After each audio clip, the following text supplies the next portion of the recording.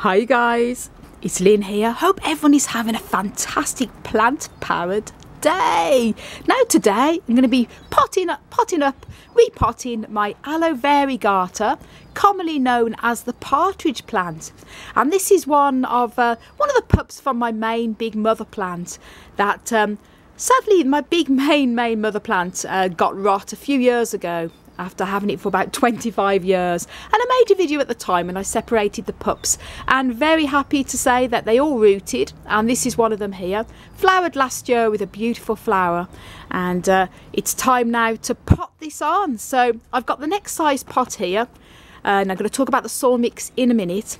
And before I go any further, I've made many videos on aloes, on including how to care for aloe, how to grow aloe from seed, how to uh, prune the dead leaves off aloes and things like aloe black spot and oh, many many different videos on aloe so too many to mention here. But what I will do is I'll link all them videos in the video description above and I'll also put down below a list of aloe care videos if you want to know a bit more about caring for aloes and there's many many different types. It's a huge uh, rather vast genus but in this video, it's just going to be a bit of a video vlog about repotting and my aloe variegata. And I say this lovely aloe is one of the, hence the name variegata, lovely variegated form, lovely patterning, which is why it's called the, the partridge plant absolutely beautiful. And the soil mix I've made up here I've made a, a, well draining soil mix which is essential for succulent plants such as aloes because they can be very rot prone if they're in just normal sort of house plant soil that stays wet for too long in between waterings. Now here I've made a mix of loam soil L-O-A-M in this case I've used a John Innes number two.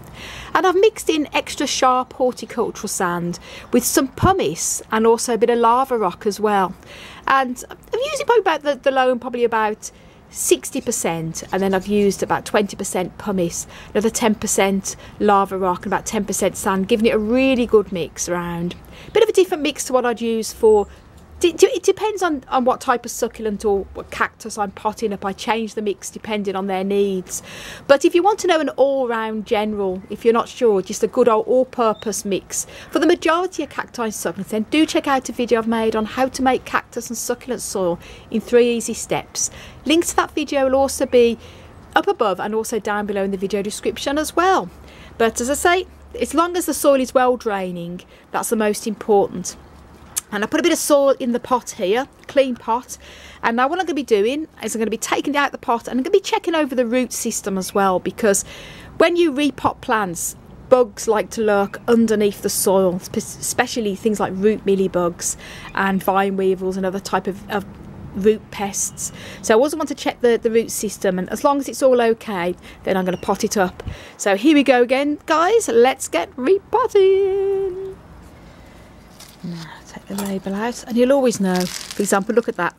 The uh, the roots are all coming through the pot there. So that's how I know it's in dire need of a repot. So gently squeeze the pot here just to loosen it up.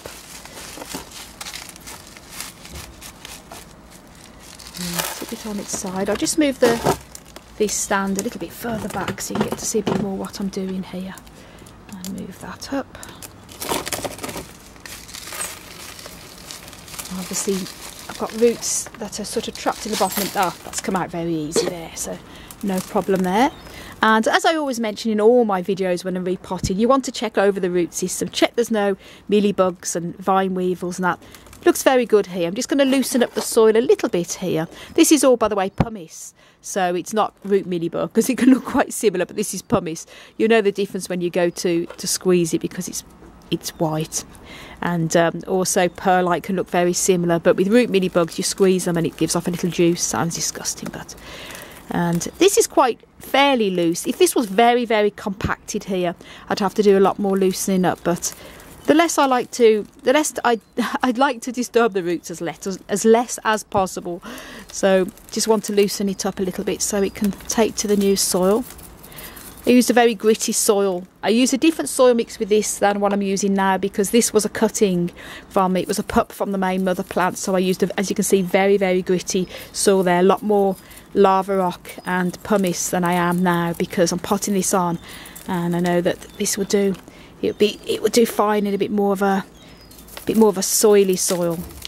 but it's great for rooting when I try to root the cutting from this so give it a bit of a shaky shaky shaky shaky.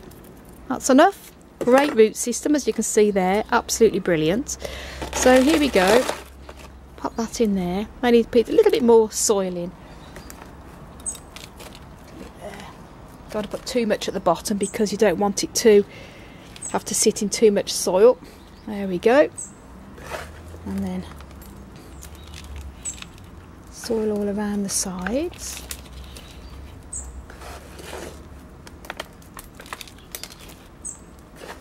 And what I do, and I do this, I mention this a lot, when I repot cacti and succulents, I always prefer to do it either in the spring, summer, or the autumn. It really is better to do it, I find, when the plant is sort of in its active growing season. With aloes, I have a lot of my aloes that want to grow during the winter. Some of them sort of prefer to be dormant during the midsummer. It really just depends. So one size doesn't always fit all, but I always like prefer to repot in the growing seasons.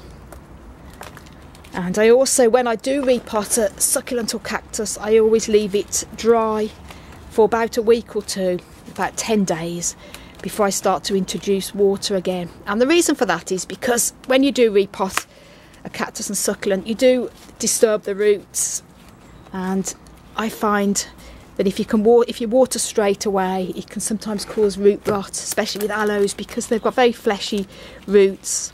So you want to be careful. So it's not going to hurt. It's a succulent, so it's not going to hurt to not have any water for a week or two. But it does help to let the, the plant acclimatise into its new pot and soil. So gently pressing down there. Easy peasy. And that's it. Gently tap the pot just to make sure the soil has all gone down the sides. You don't want to press too hard because you don't want to damage any roots, but you want to make sure that the plant is firmly tucked in. Happy days there. And what I'm going to do here, normally I'd put a bit of pumice or other type of top dressing. Because this is very, very gritty that I had the soil that was left behind here perfectly good soil. It's, it's the majority of it is just lava rock and pumice.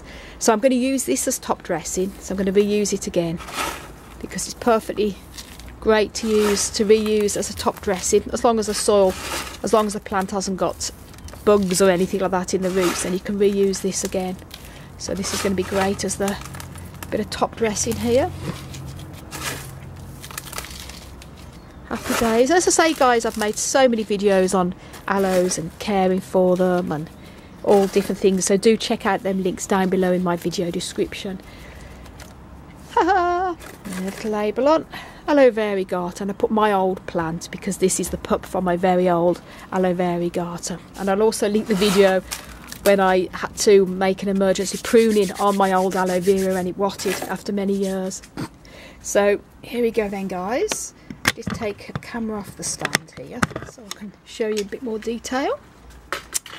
All potted up and as I say I'm going to keep this dry now for about 10 days before I give a bit of water and uh, happy days it's going to love its new pot and I'm so happy that I managed to root it from the, the pup cutting. So guys, thank you so much for watching. And for lots more tips and tricks on how you can care for and grow cacti succulents, please do subscribe to my channel. Don't forget to click that notification bell so you can be notified when I upload new videos. You can also follow me on Instagram, Twitter and Facebook at Desert Plants of Avalon. And for more growing tips on how to care for and grow cacti succulents as well as regular blogs on individual plants, do check out my website desertplantsofavalon.com. I want to send you loads of love heaps of happiness and tons and tons of funky cactus and succulent power from across the Emerald Isle. And until my next video, bye. Bye.